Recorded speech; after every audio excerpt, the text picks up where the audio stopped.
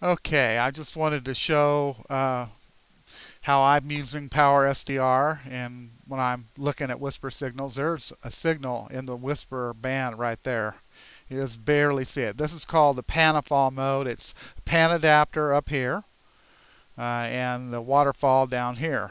Uh, and you can see there's a strong signal outside of the pass band of my filter, which is where the WSPR uh, filter is, but it, it's wider. The skirts are wider, so it doesn't doesn't cut off. Um, I can show you describe the filter when I go to spectrum. There's the width of my filter right there, and you can see it's centered on 1500. Uh, that's where the offset is from uh, 1038 700 ends up up here. Uh, more or less, and that's the width of my filter there. Okay, so this other other feature I'm going to show is uh, how I have this zoomed in. And I'm running at for, uh, the lowest sample rate possible for my Flex 3000, which is 48,000. So I'm going to zoom out, and you can see here, this is the WSPR segment. You can see that signal that was outside of the WSPR passband. You can see all this noise that's in my shack. This, this is stuff here that if I was, you know, tuning to here, I'd use a tunable notch filter to get rid of.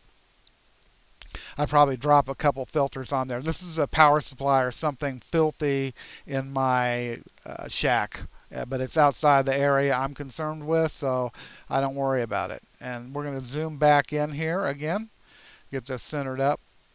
Uh, and there's a signal in the WSPR pass band now, right now, uh, right there.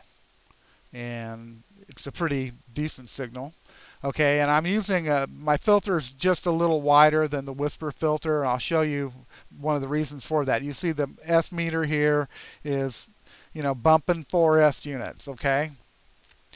This is my noise level. Uh, right now it's a S5 noise level with a 2.5K filter. So if I go back down to uh, the filter that I've described, the custom filter I've described for WSPR, then it's uh, the the noise level drops, and some of the garbage that pumps up my AGC, which is not necessarily a good thing, uh, goes away. So only the signals of interest affect my front end.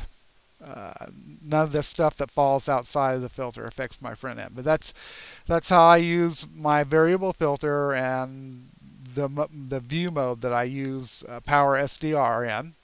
And I'm zoomed in all the way, so I can see these only, you know, basically see the signals I'm interested in only, and not have to uh, look at outside the the pass band on my filter and you know I wish I could zoom in even more but this is this is this is as far in as I can get. So that's the way we do it here.